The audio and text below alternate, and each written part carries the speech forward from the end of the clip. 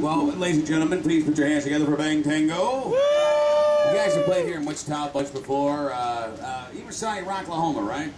You guys were up there? Yeah. With yeah, it? We did rock. Yeah, yeah. And uh, great to have you here in Wichita at uh, another hot outdoor fucking festival. Yeah, another one. Very hot. yeah.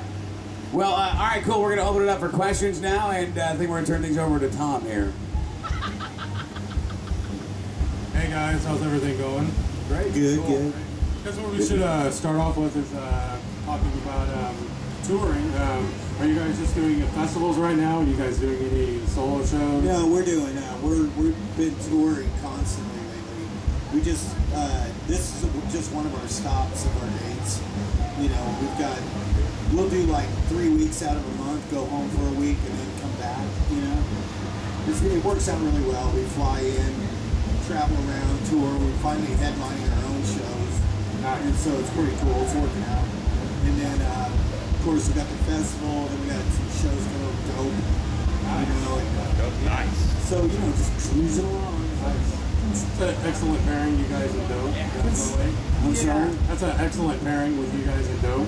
Yeah, that's Oh, like yeah. a machine shop in Flint, Michigan, and um, it's been uh, we're just kind of getting out there right now and, and getting ready to announce the new record soon. So, kind of kissing babies and shaking hands out there to meet people and be on our own for a while. Nice. He's always trying to kiss a baby. It's weird. So, baby What's kiss. So you, you mentioned a new record. Um, let's talk a little bit about that. Uh, what, what can the fans expect from uh, the new Bang Tango record? bunch of crap. DJ T-Rex. Anyway, um, uh, we're playing one of the new songs off the album tonight or today. It's called "Suck It Up." Uh, the album's really cool. We're just going back. We decided to rewrite some stuff, and uh, we uh, we're we we're doing it. Uh, we got a record coming out with full effects. Uh, Sony. It's pretty cool. They you know giving us a good good deal. It ought to be a good fun ride. You know, we plan on taking this album and touring for the next two years off of it. It's a it's a really it's a monster. It's a good album. How, would- how would you compare it to previous Bang Tango records? Well, Is it Bang heavier? Tango, Bang Tango's evolved, obviously. You know, we, we don't just stick to one sound. You know, it's whatever we feel like doing at the time, and uh, uh, it's just evolved. It's, it's it's heavier. I'm not gonna, you know, and then there's funkier parts. You know, it's a very Bang Tango album. So you know, it sounds like us. I'm the singer. Nice. Now, um, you uh, mentioned you guys are going to do one of the new songs today. Um, with uh, on, on subject of, of your guys' set, was having such a, a catalog of songs to choose from. Is it difficult to choose what you guys want to do in your in your live set?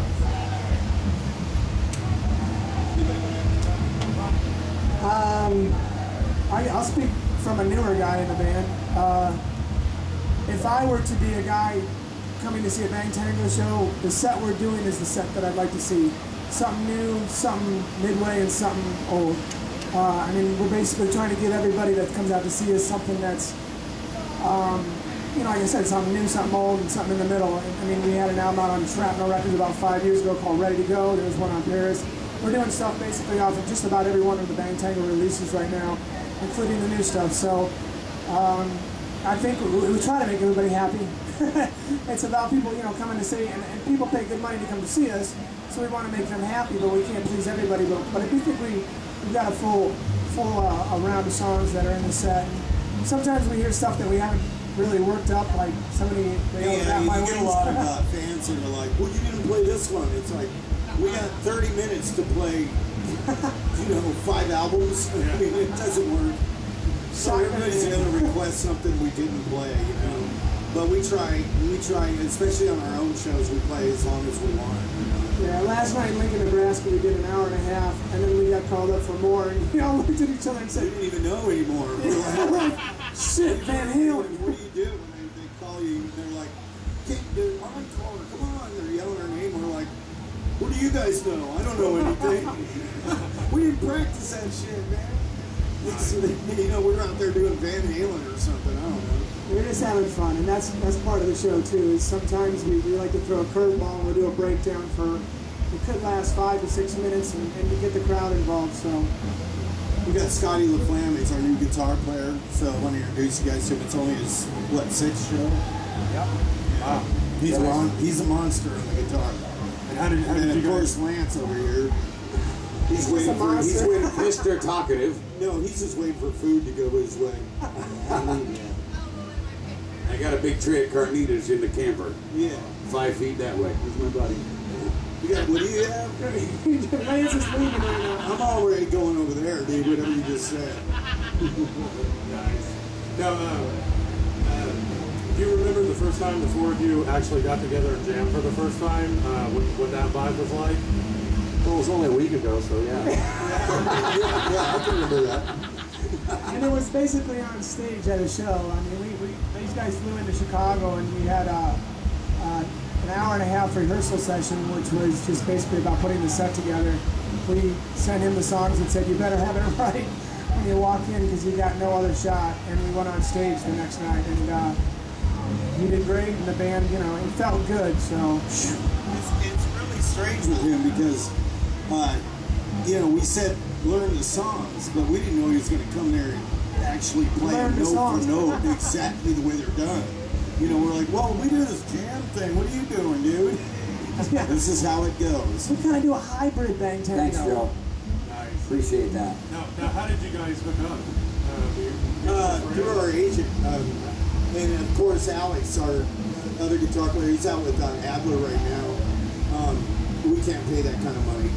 I got lots of money, come play. We don't have GNR money. But um, yeah, we uh, uh, Alex and uh, Sullivan, big. They, they, they recommended him highly, and he came in, and yeah, he's he's everything in a bag of chips. Now with a lot of The the only time he shuts up is when we're here right now. That is weird. Well, if you guys want me to talk, I'll talk. Uh, I, I definitely got to say these guys are really, really fun to work with. I, my cheeks hurt constantly because this this tour is nothing but fun. Specify which cheeks. How did you Which get in the cheeks? Not band? those. Lance, we know where your mind's Ever at. since I've been in the band, my I'm cheeks hurt really bad. band initiation is a bitch. oh yeah, they already tried that on me, but uh, it didn't work out. That's why you sleep with Trent. I think it was something like get in the band. Okay, you know what you gotta do now? Suck us, dude. I heard that about you guys. He's got a nice limo. All your previous band members have stretch marks around their mouths. I- now, that's what I was going to ask you. I feel comfortable enough with you guys to ask you this, but as a band, how, do, do people? A lot of the bands that tour on these uh, on these festivals, they're reunited bands or uh, bands comprised of new members. Do, do people ever hassle you on? Well, you guys aren't the all original lineup.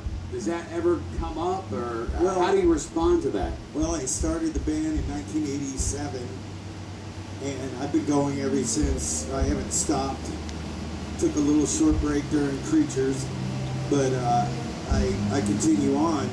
And if they say anything like that, I just tell them I haven't left myself. I'm still here. Every time I look in the mirror, it's still me singing. You know, and I've been with this guy. He's been in the band longer than the original members. Right. Uh, he's been with me for eight years now. And then Trent, you know, I don't look at that like that. You Right. know, I never do. I, I, I write the songs. I It's you. sing the songs. I came up with the name of the band. So if I decide I'm not comfortable or somebody's not comfortable with the situation, I'd rather remain good friends with all those guys that Sure. have any problems.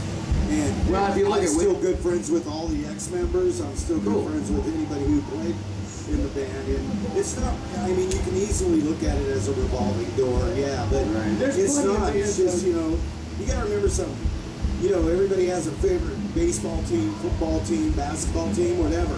Well, what do you do to win the game? If you have to trade a guy or a guy wants more money, then that's just the way it works, you know. And to me, I'm still the makes sense. captain of my own ship. I built it. I'm still sailing the bitch, you know. So I don't, I don't care about that kind That's of awesome. stuff, you know. There's a lot bigger bands out there that have, don't don't have original members that are still sailing. That's what I was going to say. If you look at, uh, I didn't even, you know, a lot of people don't know this. You look at Wikipedia, for instance, and it'll say band members. This guy play. You know, the list is like pages uh, long. There's a lot of modern rock groups that are on the radio right now that have had five or six records out that don't have, the, you know, Shinedown, for example, is one band that, you know, I, I think the singer and the drummer are the only original members. So if you're going to make comparisons, and all these people, there's always going to be haters. And all you have to do is open your arms and love the haters because at some point they're going to go, well, they either suck or they're good. Bottom line, you can't, you know, if somebody quits a band, you can't stop from quitting. And if they want to come back later on, you know, their, their ship has already sailed. I'm sorry that the, the shoes are filled. So, Yeah, we, you know, it's it's very, uh, it's not a big deal, man. We, I mean, we kick ass, we rock, we have fun. If you don't like it, fuck it. Yeah. And I, I don't really, you know, I don't base anything off that stuff. You know, really. I mean, we're still doing it. We're still touring. We're still making records. That's all that really matters. Right. You know? I mean, you know, you can't you can't look at a band member, especially the guys a long time ago, and if they decide to start families and have kids and venture out to do something else, I can't sit there and go, but wait a minute, ten years from now, everybody's going to ask me what happened to you. You know, I don't do that. You know, I just sit there and go, hey, we're we're we're Bang Tango right here. We're sitting on this couch. Absolutely. Bang Tango. And I remember, like, at uh, the first year, Rocklahoma, uh, a lot of the bands, uh, like, I can't even think of a, a for instance, but they're like, oh, yeah, man, he used to play with us when we first started, or, you know, because it, it's almost like a, you know, this inbred mixture of uh, this guy went to this band now, now it's like a reunion almost when you go to these things. So it's still cool. I like the uh, the, the sports analogy. That makes total sense. Well, it's very, it does make sense. You have to look at it like, you know, unfortunately, you have to trade out people and do things that's going to be conducive for what's going to happen with the band, not what people might think about it, you know. I mean, I didn't go out and search out hack players or anything, you know. I try to get the best of the best that I can. Trent's our free agent. so if there's any takers, hi there. Yeah, My name's it's just a free Trent. I'm agent, five nine. I like walks on the beach. I think uh, I'll just say this for the guys. I think that one of the most important things in being a professional is being able to have a tight ship, running a tight ship, and all Smoke these a lot guys. of weed. Smoke a lot of weed. Personal preference there, Joe. Um, and I Any- think anybody have any? I'm sitting here. I, I think it's really important to know that you know you, you just you got to be a team player, and you got to have people that are uh, willing to do the job and can do the job. You know, people that have been working hard their whole lives. You said the scene. The scene's very incestuous, by the way. The, uh, That was the word I was looking for very incestuous. Yeah, and you know what? It's not Yeah, a we have a kid. It's We do. incestuous. Yes, these two, the kid is ugly as shit. But uh, Yeah. no, it's, it, it, it is. He has to wear. I actually met these guys when I was opening up for them on tour, and when I knew they were looking for a drummer, I called them and said, "The worst thing in your life just happened. I'm going to come down and be your drummer." True. No, It's kind of like a bad case of herpes that just don't go away, you know. Yeah, no, Trent does a lot in the band. He makes sure that uh, everything's worked. Everybody has separate jobs, you know. Mine is to stay healthy and sing and write stuff. Uh, Scott's is to talk a lot. Which that's a contradiction at this point because uh, I'm not really talking a lot, but It's a good thing. but, you know, we're here to have fun, man. We're here to make sure everybody else has fun. That's what our, I tell these guys. We're no different than construction workers, plumbers. We're we're blue collar workers. We work our asses off. We travel around the country and we play shows. That's what we do. So you're no different than a plumber. Stand up and turn around then. Oh yeah. Are your pants pulled up or down? there we go. Just like Joe the plumber. Oh. Nice. Nice. That's a thought I didn't need. Thanks. I'm If I had a couple beers, I would have showed you more. But right now, it seems to be water. I'm gonna skip those carnitas now. Thanks. Thanks, Joe. Any other questions? for Yeah, us? just, just one more question for Joe. Um, are we going to see a, uh, another Beautiful Creatures album anytime? And some, I'm, I'm, we're talking about sometime in 2011, you know. But you know, right now I'm concentrating on this record. And, and do me a favor, listen to the new song "Suck It Out" because people go, "It sounds like Beautiful Creatures, but Bang Tango," and they can't figure it out. And I'm going, "Well, guess what? I sang in both bands and I did the both.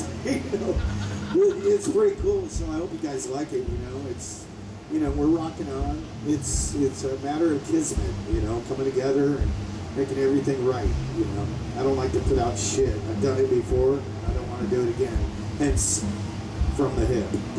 Nice. Appreciate it, guys. Uh, Bang Tango. And uh, any other questions? Think we're good? Thanks a lot, guys. Thank you You guys want to stand? You guys want to stand up front here? That way everybody can get a nice group shot.